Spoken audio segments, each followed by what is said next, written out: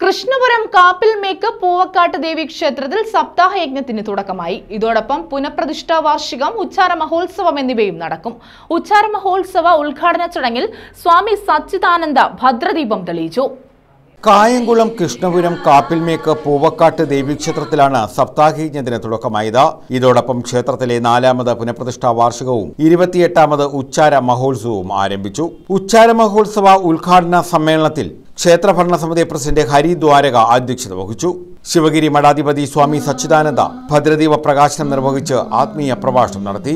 ഈ ഭാഗവത സപ്താഹയജ്ഞം ഭദ്രദീപം തെളിയിച്ച് സമുദ്ഘാടനം ചെയ്യുവാൻ നിങ്ങൾ എന്നെ ക്ഷണിച്ചത് നിങ്ങളുടെ ഗുരുത്വ ബോധം കൊണ്ടാണെന്ന് ഞാൻ വിശ്വസിക്കുന്നു. ഇവിടെ കുട്ടികൾ ദൈവദശകം ചൊല്ലിയാണ് ഈ സമ്മേളനത്തിന് ആരംഭം കുറിച്ചിട്ടുള്ളത്. അതും നിങ്ങളുടെ ഗുരുത്വ ബോധമാണ് കർമ്മയോഗവും രാജയോഗവും ഭക്തി യോഗവും ഈ നാല് യോഗങ്ങളിൽ സാധാരണക്കാരായ ആളുകളെ സംബന്ധിച്ച് ഏറ്റവും ശ്രേഷ്ഠമായത് സുഗ്രാഹ്യമായിട്ടുള്ളത് ഭക്തി യോഗം ഈ സപ്താഹം എന്ന് പറയുന്നത് ഭക്തി യോഗത്തിൽ പെടുന്ന അനുഷ്ഠാന ക്രിയയാണ് ഡോക്ടർ അലക്സാണ്ടർ ജേക്കബ് മുഖ്യ പ്രഭാഷണം നടത്തി.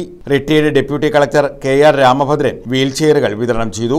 Jyothi Padmakumar K Gopinathan J Radhakrishnan J Jinatha തുടങ്ങിയവർ പങ്കെടുത്തു. ഇവിടെ നടന്നുകൊണ്ടിരിക്കുന്നത്. അനുബ അതിനോടനുബന്ധിച്ച് നടക്കുന്ന ഉദ്ഘാടന സമ്മേളനത്തിലും ന്യൂസ് ബ്യൂറോ കായംകുളം.